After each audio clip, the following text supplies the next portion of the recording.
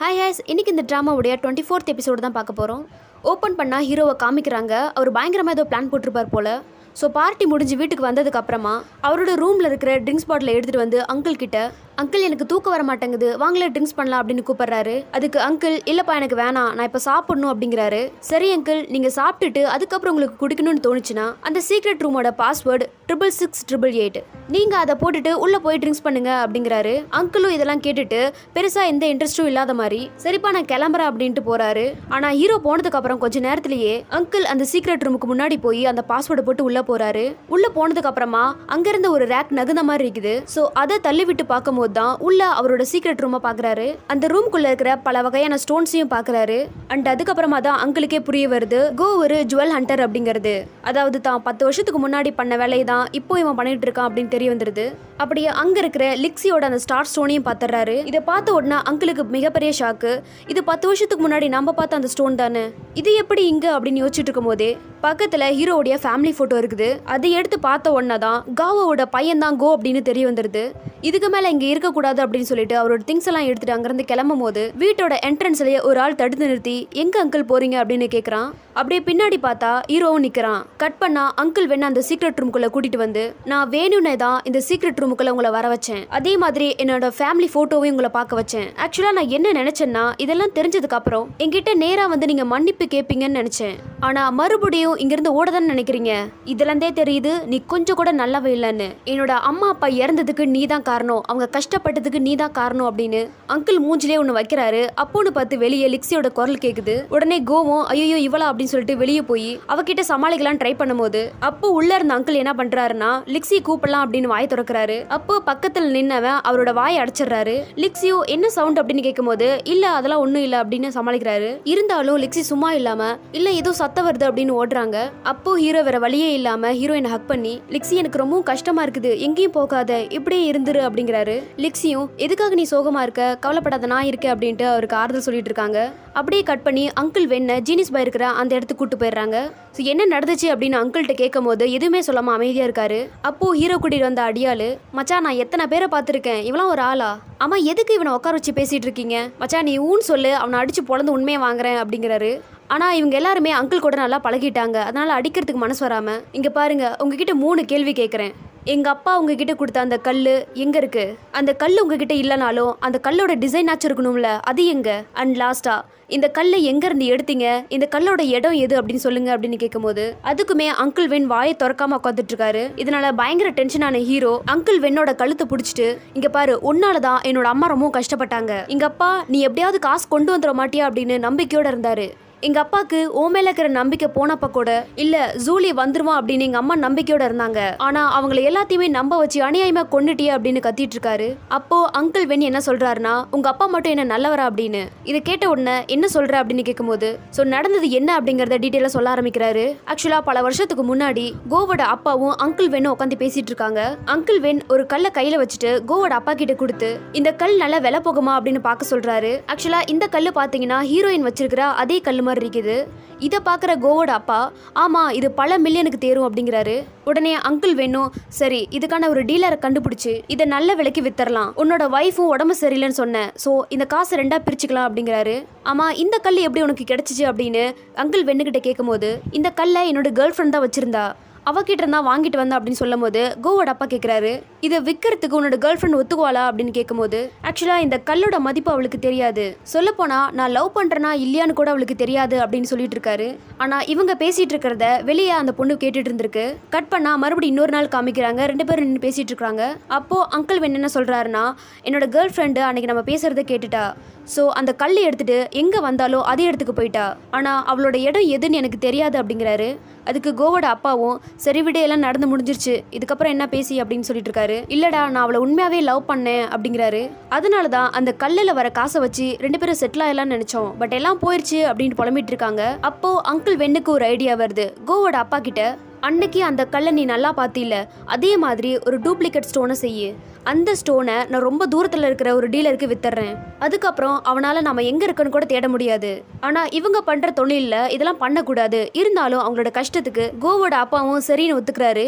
அதுக்கப்புறமா தான் கோவோட அப்பா அவங்களோட வீட்டில் நாங்கள் ஒரு ஜெம் ஸ்டோனை கண்டுபிடிச்சிட்டோம். அதை டீலர் கிட்ட வித்துட்டு வரதுக்காக ஜூலி போயிருக்கான் கண்டிப்பாக காசு வந்துடும் அப்படின்னு உங்ககிட்ட பொய்யா சொல்லியிருக்கான் அப்படின்னு அங்கிள் வென் எல்லா கதையும் சொன்னதுக்கு அப்புறம் ஹீரோ கேட்குறாரு சரி டூப்ளிகேட் கல்ல வித்துட்டு வரதுக்கு தானே போனேன் அப்புறம் ஏன் திரும்பி காசு கொண்டு வரல அப்படிங்கும்போது அங்கிள் வேணும் ஆமாம் நான் விற்கிறதுக்காக தான் போனேன். ஆனால் அந்த டீலருக்கு அந்த கல் போலி அப்படின்னு தெரிஞ்சிருச்சு. அதுக்கப்புறம் அவங்க கிட்டேருந்து தப்பிக்கிறதுக்காக நான் செத்து பொழைச்சேன் அப்படிங்கிறாரு. அதுக்கு ஹீரோவும் எல்லாரும் உன்னை துரத்திட்டு இருக்காங்க. அதாவது இப்போ வரைக்கும் உன்னை துரத்திட்டு இருக்காங்கன்னா அந்த ஸ்டோன் இருக்கிற இடம் உனக்கு தெரிஞ்சதுனால தான். சரி சொல்லு அந்த ஸ்டோன் எங்கே கிடைக்கும்? அப்படின்னு கேட்கும்போது அங்கிள் வென் என்ன சொல்கிறாருன்னா அதை நான் கோகிட்ட மட்டும் தான் சொல்லுவேன். ஹீரோவும் அங்கேருந்து எல்லாரும் கிளம்பி சொல்லிட்டு தனியாக பேசிகிட்டு இருக்காரு. இங்கே பாரு கோ அந்த ஸ்டோன் இருக்கிற இடம் எனக்கு தெரியாது. ஆனா இது லிக்ஸிக்கு தெரியும். லிக்ஸி இருக்கிற இடத்துல தான் அந்த ஸ்டோனும் இருக்கு. உனக்கு லிக்ஸியை பத்தி தெரியும் அப்படின்னா லிக்ஸியோட இடத்த பத்தி உனக்கு தெரிஞ்சிருக்கணும். அண்ட் அந்த ஃபோட்டோவில் இருந்த பொண்ணும் உனக்கு தெரிஞ்சிருக்கணும் அப்படின்னு சொல்கிறாரு ஆக்சுவலாக அந்த பொண்ணு வேற யாரும் கிடையாது. அந்த கிராமத்தில் ஒரு வயசான ஆண்டி இருப்பாங்கல்ல அவங்க தான் இந்த பொண்ணு. பத்து வருஷத்துக்கு முன்னாடி சிட்டிக்குள்ளே வந்திருப்பாங்க போல அப்போ அங்கிள் வேணா சந்திச்சிருக்கிறாங்க? அங்கிள் என்ன சொல்கிறாருன்னா லிக்ஸியை யூஸ் பண்ணி அதை எடுக்க பாரு அப்படிங்கும்போது நான் ஒன்றும் உங்களை மாதிரி கேவலமான ஆள் இல்லை அப்படின்னு ஹீரோ சொல்கிறாரு அதுக்கு அங்கிளோ பின்ன நீ என்ன நல்லவனா? ஆமா லிக்ஸி எதுக்காக இங்கே கூட்டிகிட்டு வந்த? அவகிட்ட இருக்கிற அந்த கல்லுக்கு ஆசைப்பட்டு தானே அவளை இங்கே தங்க வச்ச? இங்கே பாரு பெருசா உனக்கும் எனக்கும் பெரிய வித்தியாசம்லாம் இல்லை அப்படின்னு சொல்லும் போது ஹீரோக்கு இதை கேட்ட உடனே பயங்கர டென்ஷன் ஆகுது. நடந்ததெல்லாம் யோசிச்சு பார்த்துட்டு ஒருவேளை நாமளும் இவர மாதிரி தானா அப்படின்னு யோசிச்சுட்டு இருக்காரு. ஹீரோக்கு ரொம்பவும் கஷ்டமா போனதுனால அங்கிருந்து கிளம்பி சின்ன வயசுல அவங்களோட பேரண்ட்ஸ் கூட ஒரு பீச்சுக்கு போயிருப்பாங்க. அந்த இடத்துக்கு போய் அப்போ எவ்வளோ ஜாலியா இருந்தோம் அப்படிங்கறதெல்லாம் யோசிச்சு பார்த்துட்டு இருக்காரு ஸோ இங்க காமிக்கிறாங்க. அவர் வெளியே போன நேரமா பார்த்து அங்கிள் அங்கிருந்து எஸ் ஆயிடுறாரு. ஜீனிஸ் பாயும் ஃப்ரெண்டு பொண்ணு உள்ள வந்து பாக்குறப்போ அங்கிள் இல்லாத பார்த்த உடனே எல்லா இடங்கள்லயுமே அங்கிளை தேடிட்டு இருக்காங்க. அப்படியே ஹீரோ காமிக்கிறாங்க. வில்லங்கிட்டையும் ரவுடி பொண்ணுகிட்டையும் பேசிட்டு இருக்காரு. இங்க பாருங்க நீங்க நினைக்கிற மாதிரி எந்த ஒரு கல்லும் இல்ல. எல்லாமே அங்கிள் வென் சொன்ன பொய் தான். இப்படி நடந்த எல்லா விஷயத்தையுமே சொல்றாரு. ஆனா லிக்ஸியோட கிராமத்துக்கும் அந்த கல்லுக்கும் சம்மந்தம் இருக்கிறத மட்டும் சொல்லல. ஏன்னா இது தெரிஞ்சா லிக்ஸிக்கும் அந்த கிராமத்துக்கும் பாதிப்பு அப்படிங்கறதுனால சொல்லல. அப்படியே அங்கிள் வெண்ண காமிக்கிறாங்க. கோ கிட்ட இருந்து தப்பிக்கிறதுக்காக ஹீரோயினுக்கு கால் பண்ணி லிக்ஸி நான் இப்போ ஒரு மிகப்பெரிய ஆபத்துல இருக்கேன். நீ வந்தாதான் என்னை காப்பாத்த முடியும். ப்ளீஸ் நான் சொல்ற இடத்துக்கு வா அப்படின்னு கால் கட் பண்ணிடுறாரு. லிக்ஸியும் பதறி போய் என்னாச்சோ ஏதாச்சோன்னு சொல்லிட்டு அங்கிள் சொன்ன அந்த இடத்துக்கு போறாங்க. ஆனா ஜீனிஸ் பாய் அதுக்கு முன்னாடி என்ன பண்ணிடுறாருன்னா அங்கிள் வின் எங்க இருக்காரு? லிக்ஸி கிட்ட என்ன பேசினாரு? அப்படிங்கிற எல்லாத்தையுமே ட்ரேஸ் பண்ணிடுறாரு. லிக்ஸியும் அவர் சொன்ன இடத்துக்கு அந்த வந்து பாக்குறப்போ அந்த இடத்துல அங்கிள் வெண்ண காணும். அதுக்கு பதிலாக ஜீனிஸ் பாயும் ஃப்ரெண்டு பொண்ணும் இருக்காங்க.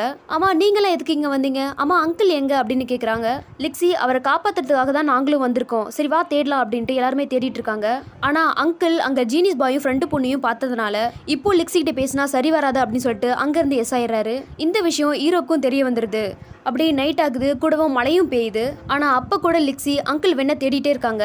ஹீரோவும் அங்கே வந்து லிக்ஸி வா வீட்டுக்கு போகலாம் அப்படின்னு கூப்பிடுறாரு. ஆனால் அதுக்கு லிக்ஸி இல்லை அங்கிள் எனக்கு கால் பண்ணாரு. அவருக்கு ஏதோ ஆபத்து அப்படின்னு சொன்னாரு. அவர் பாவம் அவரை காப்பாற்றி ஆகணும் அப்படின்னு சொல்லிட்டு ஹீரோவோட கையை உதறிட்டு சுத்தியும் முத்தியும் தேடிட்டு இருக்காங்க. ஆனால் கோவும் எப்படியே பேசி அவங்கள வீட்டுக்கு கூட்டிகிட்டு வந்துடுறாங்க. லிக்ஸி மலையில் நினச்சதுனால ஹீரோ சொல்கிறாரு சரி டேப்லெட்டை போட்டு தூங்கு அப்படின்னு. ஆனால் கோ மேலே பயங்கர கோவத்தில் இருப்பாங்க போல். இல்லை எனக்கு எந்த டேப்லெட்டும் வேணாம் எனக்கு எதுவும் ஆகாது அப்படின்னு சொல்லிட்டு அங்கேருந்து கோமா கிளம்புறாங்க. அப்போது ஹீரோ அவங்கள தடுத்து நிறுத்தி எதுக்காக இப்போ என் மேலே கோமா இருக்குது அப்படின்னு கேட்கும்போது ஆமாம் அங்கிள் வேன் எனக்கு கால் பண்ணி நான் டேஞ்சரில் இருக்கிறேன் என்னை காப்பாற்று அப்படின்னு சொன்னார். அதுக்கு ஹீரோ என்ன சொல்கிறாருன்னா இல்ல லெக்ஸி அவர் சேஃபா தான் இருக்காரு. அவர் கூட கேட்டுட்டே இருந்தாருல்ல. என்ன எங்கேயாவது அனுப்பி வைப்பான்னு. அதனால தான் அவர் சேஃபான ஒரு இடத்துல வச்சிருக்கேன். நீ ஒன்றும் பயப்படாத என்னை நம்பு அப்படிங்கும் போது தான் ஹீரோயினும் சரி ஓகே அப்படின்றாங்க.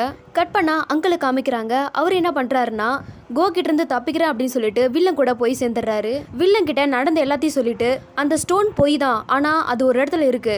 அந்த இடம் எனக்கு நல்லாவே தெரியும். அது உங்ககிட்ட சொல்லணும் அப்படின்னா கோ கிட்ட இருந்து என்னை காப்பாத்தணும் அப்படின்னு சொல்றாரு. வில்லனும் இதுக்கு சரின்னு சொல்லிடுறான். அப்படியே ஃப்ரெண்டு பொண்ணையும் ஜீனிஸ் பாயும் காமிக்கிறாங்க. இப்போ நாம தான் அங்கிள் அப்படின்னா இந்த நிலமையில அவர் என்ன பண்ணுவார் அப்படின்னு யோசிச்சுட்டு இருக்காங்க?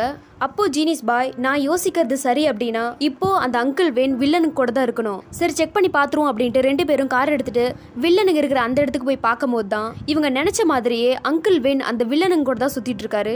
இதை பார்த்துட்டு இது எல்லாமே லிக்ஸிக்கு தான் ஆபத்து அப்படின்னு சொல்லிட்டு இருக்காங்க. அப்படியே கோவியும் லிக்ஸியும் காமிக்கிறாங்க.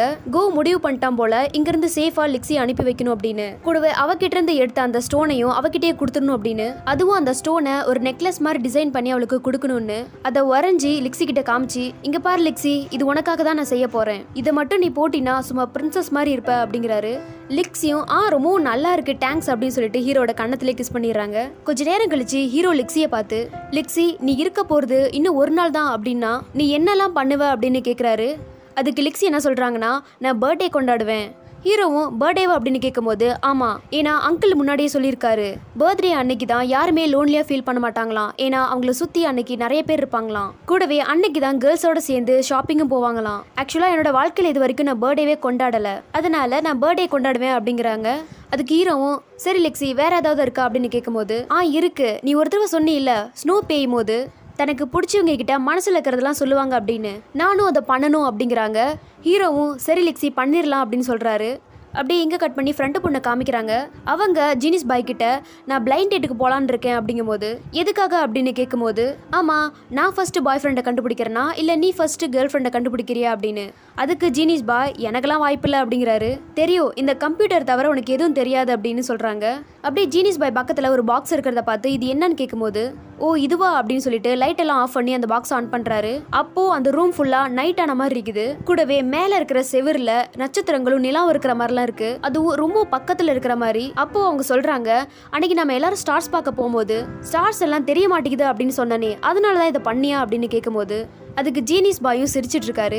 சரி இந்த ஸ்டார்ஸ் எல்லாம் பார்க்கும்போது என்ன தெரியுது? அப்படின்னு ஃப்ரெண்டு பொண்ணு கேட்கும்போது அதுக்கு ஜீனிஸ் பாய் ஏதோ சயின்டிஃபிக்கலா சொல்லிட்டு இருக்காரு. அதுக்கு அவங்க உங்ககிட்ட கேட்டேன் பாரு ஏன் தப்போதா? அப்படின்ட்டு தலைமையில கை வச்சுக்கிறாங்க. ஆனா இதே கோவா இருந்தா என்ன சொல்லியிருப்பான் தெரியுமா? இப்படி அவங்க சொல்லிக்கிட்டே ஜீனிஸ் பாய் கிட்ட போய் இங்கே தெரியிற இந்த நட்சத்திரங்கள் எல்லாம் எவ்வளோ கிட்டத்தில் இருக்கோ அதே மாதிரி நான் எப்பயும் உன் கூடவே இருப்பேன் அப்படிங்கிறாங்க. ஆக்சுவலாக ஃப்ரெண்டு பொண்ணுக்கும் ஜீனிஸ் பாயை பிடிச்சிருக்கு போல். ஆனால் அதை வெளியே காட்டிக்காமல் நடிக்கிறாங்க. அப்படியே கட் பண்ணால் ஹீரோயின் சுவா ஃப்ரெண்டு பொண்ணு எல்லாரும் சேர்ந்து ஷாப்பிங் போயிட்டு இருக்காங்க. அவங்க எல்லாரும் ஜாலியாக ஷாப்பிங் முடிச்சதுக்கப்புறம் வீட்டுக்கு வராங்க. அப்போ ஹீரோ லிக்ஸியை விழுந்து விழுந்து கவனிச்சிட்டு இருக்காரு. இதை பார்க்குற லிக்ஸிக்கே டவுட் வந்து கோ இப்பெல்லாம் என்கிட்ட ரொம்ப ஸ்வீட்டாக நடந்துக்கிற. இதுக்கு பின்னாடி ஏதாவது காரணம் இருக்கா? அப்படின்னு கேட்கும்போது அதெல்லாம் ஒன்றும் இல்லை சாப்பிடு அப்படிங்கிறாரு. ஆனால் லிக்ஸி என்ன சொல்கிறாங்கன்னா ஒரு தடவை என் கூட நீ கிராமத்தில் இருக்கும் போது இதே மாதிரி தான் ஸ்வீட்டாக நடந்துக்கிட்ட. அப்போ உனக்கு ஸ்டோன் தேவைப்படுச்சு அதனால் அப்படி பண்ணேன் இப்போ எதுக்காக அப்படின்னு கேட்கும்போது சுமார் லிக்ஸி சாப்பிடு அப்படின்ட்டு இருக்காரு எல்லாருமே சாப்பிட்டு முடிச்சுட்டு ஃப்ரெண்டு பொண்ணு ஜீனிஸ் பயம் அங்கேருந்து கிளம்பும் போது கோ வந்து ஃப்ரெண்டு பொண்ணுக்கிட்ட என்ன கேட்குறாருன்னா நாளைக்கு ஒரு நல்ல பிளேஸ்ல ஸ்னோ பெய்யற மாதிரி எனக்கு வேணும் அப்படிங்கிறாரு. அதுக்கு அவங்க என்ன ஜூலை மாசத்துல ஸ்னோவா இல்ல எனக்கு தெரியாது ஆனா ஸ்னோ வரணும் அப்படிங்கிறாரு. என்னால அதை பண்ண முடியாது ஆனா ஜீனிஸ் பாயால முடியும் அப்படின்னு அவரை கோர்த்து விடுறாங்க. ஜீனிஸ் பாயும் சரி என்னால முடிஞ்சதை பண்றேன் அப்படிங்கிறாரு. அப்படியே கட் பண்ணால் காலையில் காமிக்கிறாங்க. எல்லாருமே லிக்ஸியோட பர்த்டேக்காக எல்லா ஏற்பாடும் பண்ணிட்டு இருக்காங்க ஒரு டீம் என்னென்னா சமையல் செஞ்சுட்டு இருக்காங்க இன்னொரு டீம் வீட்டை டெக்கரேட் பண்ணிட்டு இருக்காங்க ஃப்ரெண்டு பொண்ணும் லிக்ஸிக்கு அலங்காரம் பண்ணி விட்டுட்டு இருக்காங்க லிக்ஸியும் ஒயிட் கவுன்லாம் போட்டு ஒரு பிரின்சஸ் மாதிரி வெளியே வராங்க. அப்படியே அவங்களுக்காக வாங்கின கேக்கும் ரெடியா இருக்கு. அதை கட் பண்றதுக்கு முன்னாடி ஏதாவது விஷ் கேளு அப்படிங்கும் போது லிக்ஸி கோவை பார்த்து இன்னைக்கு மாதிரி என்னைக்கும் கோ என்ன லவ் பண்ணிட்டே இருக்கணும் அப்படிங்கிறாங்க. இதை கேட்ட உடனே ரென் என்ன சொல்றானா போச்சு போச்சு விஷய வெளியே சொல்லிட்டியா? இனிமேல் நடக்காது போ அப்படிங்கிறாரு. ஹீரோவும் கொஞ்சம் சும்மா இருக்கியாடா? அப்படின்னு முறைக்கிறாரு. அதுக்கப்புறம் கோ லிக்ஸிக்காக ஒரு பொக்கேவும் கூடவே லிட்டில் பிரின்சஸ் ஸ்டோரியை ஒரு ஆடியோவை ரெக்கார்ட் பண்ணி கொடுக்குறாரு. ஸோ எல்லாருமே சேர்ந்து உட்காந்து சாப்பிட்டுட்டு இருக்கப்போ ஹீரோயின் கிட்ட உனக்கு இன்னொரு சர்ப்ரைஸ் இருக்கு அப்படிங்கிறாரு. என்ன இன்னொன்று இருக்கா அப்படின்னு எக்ஸைட் ஆகுறாங்க. இதோட இந்த எபிசோட் முடியுது. அடுத்து என்ன நடக்க போகுது அப்படிங்கிறத நம்ம நெக்ஸ்ட் எபிசோடில் பார்க்கலாம். அண்ட் அடுத்தடுத்த எபிசோட்ஸை நீங்கள் மிஸ் பண்ணாமல் பார்க்கணும் அப்படின்னா நம்ம சேனலை சப்ஸ்கிரைப் பண்ணி வச்சுக்கோங்க. கூடவே பக்கத்தில் இருக்கிற பெல் ஐக்கனை ப்ரெஸ் பண்ணி ஆல் அப்படிங்கிற ஆப்ஷனில் வச்சாதான் நான் போடுற ஒவ்வொரு வீடியோஸும் உங்களுக்கு நோட்டிஃபிகேஷனாக வரும்.